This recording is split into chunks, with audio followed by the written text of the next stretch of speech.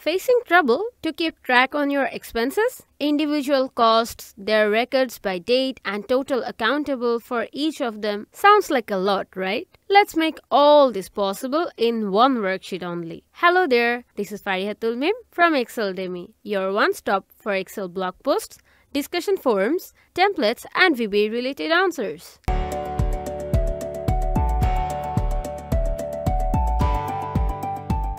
Today our discussion is how to create an expense report in Excel. We will create this template in a blank worksheet using Excel 365. You can use other available versions as well. Let's get down to the video. Here is a new worksheet. Here we will remove the grid lines first. For that, let's go to View tab and from the Show group, uncheck the grid lines option. Now to add basic info, merge B2 to I2. From the Home tab, under the Alignment group, merge and center. Type Expense Report. Now for more information, we will add more titles. Before that, let's merge the cells for better visual. Merge B4 to C4 using the merge and center option. Now let's copy cell B4 using Ctrl C and paste it using Ctrl V in B5, B6 and E4 and in H4. In B4, type purpose as in the purpose of this expense report. Employee name in B5 and here goes employee ID. In D4, type a colon sign. And in E4, let's create a blank space using underscore. Now select D4 and E4 and using fill handle tool, copy it till D6.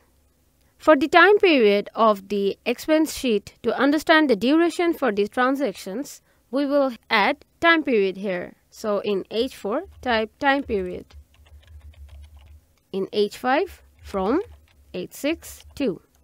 Now let's select all of them using control key and from the home tab under the font group make them bold and increase their font size to 12. From the alignment group let's make them left and middle aligned.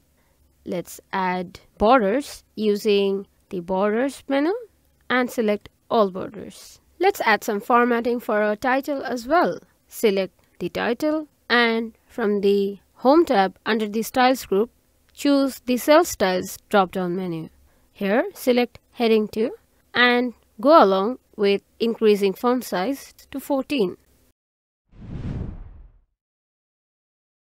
For detailed report, let's add some column headers first. In B8, let's type date, description, hotel, transport, meal, phone, others, finally total. Now select B8 to I14 and go to Home tab. Under the font group, choose All Borders. For the titles in B8 and our time period, go to Home tab and under the font group, make them bold, increase their font to 12 and let's choose a fill color say this one. And from the alignment group let's choose center and middle aligned. It looks better right?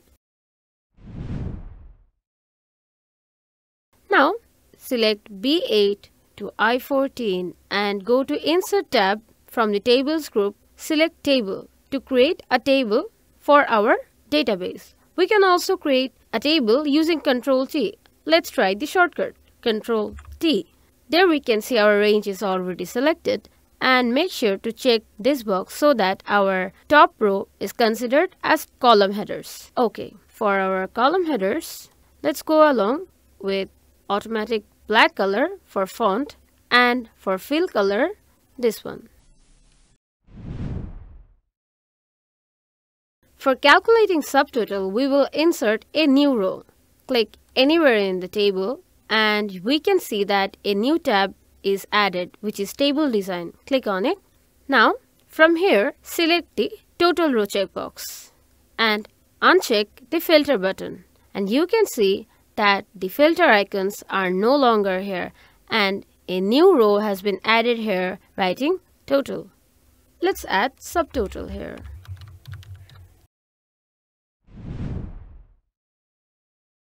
Now we will format these cells according to requirement. Select D9 to I15 and from the Home tab under the Number group, select this icon for accounting number format. And for this column, from the drop-down, choose Short Date. You can customize format from Format options as well using Ctrl 1, like that. To get the total values, we will use the sum function now. In cell I9, let's type equals sum tab and let's select D9 to H9. Enter. It will copy to rest of the cells as well. From the formula bar, we can see that the range is not referred as D9 to H9. Rather, the column headers of our table, which is named as table 1. Now let's add our cell values to create an expense report. You can manually type it or copy from a draft dataset. We will copy it using Ctrl C and paste it here using Ctrl V. We can see the total value is already updated according to our dataset. Now we want to add each type of expenses in the subtotal row. Since we added this row as total previously, we don't need to add formulas to get it. Select cell D15 and we can see a drop-down menu here. Select sum. The value is not visible. Let's increase the column width. Now we can see that the total expense for hotel is $880. Now use the fill handle till H15.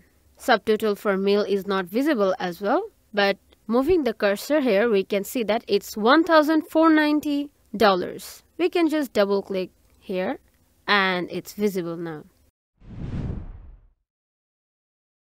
For final calculation, let's add merge G16 and H16 from the alignment group in the Home tab and type paid. Let's format it from the font group, making it bold and increasing its size to 12. Copy this using Ctrl C and paste it in G17 and in B18. Now in G17 type due and in B18 type authorization.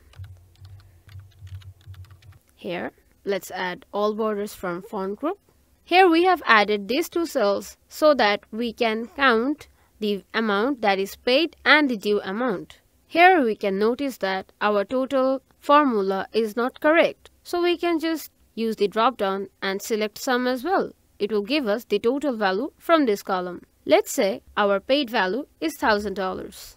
Let's change format of I16 and I17 from the number group to accounting format and in the due value, let's type equals total minus paid value. Enter. And we can see that the total due amount is $2,350. Now, for authorization, we will add a blank space for signature. Select B19 and C19 and merge them using alignment and use a blank space using underscore. So our expense report is ready.